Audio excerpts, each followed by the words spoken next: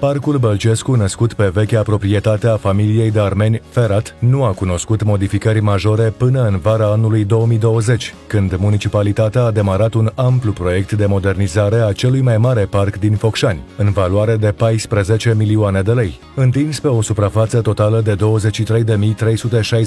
de metri pătrați, proiectul Parcului Bălcescu prevede o reabilitare completă, care îi schimbă înfățișarea, dar și utilitatea. Ca și în cazul celorlalte lucrări aflate în execuție, primarul Cristi Misailă urmărește personal stadiul și felul în care se desfășoară activitatea pe acest șantier. Iată că lucrările pentru modernizarea și reabilitarea parcului Nicolae Bălcescu din municipiul Focșani înaintează într-un ritm alert. Ne dorim cât mai mult uh, ca acest proiect de suflet al focșănenilor și al meu personal să ajungă la final în această perioadă uh, am uh, reușit să reabilităm complet acest uh, parc. Am reabilitat toate aleile, am montat un sistem nou de fântâne arteziene, avem mobilier urban nou, stâlp de iluminat, loc de joacă pentru copii, loc de joacă pentru șahiști, loc de joacă pentru animalele de companie, ceva nou pentru municipiul Focșani, un loc pentru skateri, un loc în care fiecare să poată să facă mișcare în aer liber, fitness în aer liber.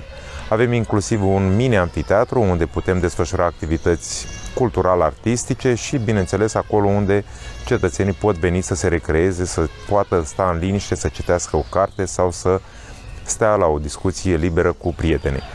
Îmi doresc foarte mult ca acest proiect să se termine cât mai repede pentru a putea ca focșănenii să se bucure în cel mai scurt timp de ceea ce noi zicem că am reușit să realizăm cu eforturi susținute de bugetul local, dar care cred eu că vor merita pe deplin.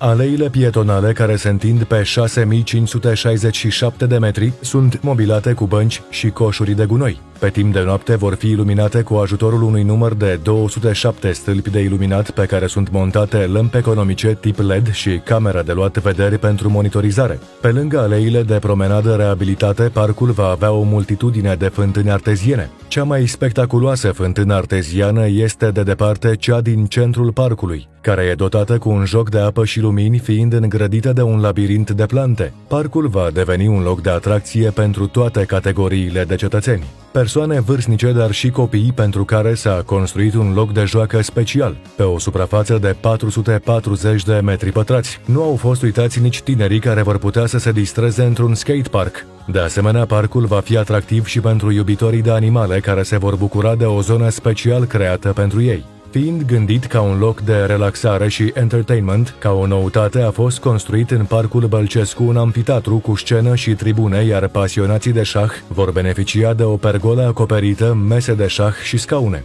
După modernizare, în Parcul Bălcescu vor fi disponibile două grupuri sanitare și patru fântâni cu apă potabilă, pentru că este în primul rând o grădină publică pe lângă toaletarea vegetației existente și montarea unui covor de gazon întreținut cu un sistem de irigare cu aspersoare automate de tip pop-up cu limitarea ariei de stropire și conducte montate îngropată în Parcul Bălcescu s-au plantat 129 de copaci și alte sute de plante ornamentale și trandafiri. Au fost modernizate și căile de acces prin construirea a trei porți iluminate în culorile tricolorului, albastru pe latura dinspre strada Bălcescu, roșu pe latura dinspre strada Republicii și galben dinspre strada Timiș. La fiecare intrare se află deja montate rastele de bicicletă, mai ales că prin fața intrării de bicicletă din parcul Bălcescu va trece și pista de bicicletă pe care municipalitatea o realizează în cadrul unui proiect european. De altfel, tot la intrarea principală din strada Republicii va fi montată și o stație de andocare pentru biciclete de tip bike sharing.